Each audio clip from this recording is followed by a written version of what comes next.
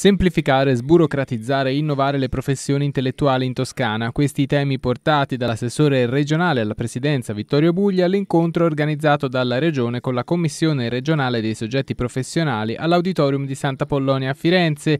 In platea i rappresentanti di un mondo che conta in Toscana 103.000 professionisti, tra avvocati, medici, consulenti del lavoro, commercialisti, solo per citarne alcuni, a cui è stata rivolta una domanda precisa. Quali sono le 10 cose più importanti? Importanti eh, su cui occorre semplificare. Queste, bene, intanto lavoriamo a queste, risolviamo queste e poi passiamo eh, alle ulteriori 10. Questo è quello che io ho proposto oggi e che credo si debba fare. Dall'altro però attenzione perché eh, non può essere solo questo, da questo mondo deve venire un valore aggiunto anche per le sfide future. Sfide future da valutare anche sulla base dei dati della ricerca affidata all'IRPET, l'Istituto regionale per la programmazione economica in Toscana, nell'ambito dell'Osservatorio delle professioni. Dal 2008 a oggi ci sono 23.000 professionisti in più.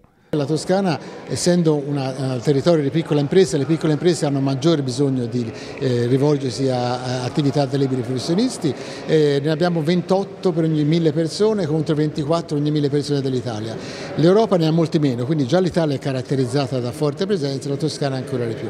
Anche in Toscana la, la crescita occupazionale è stata particolarmente consistente in questo ambito.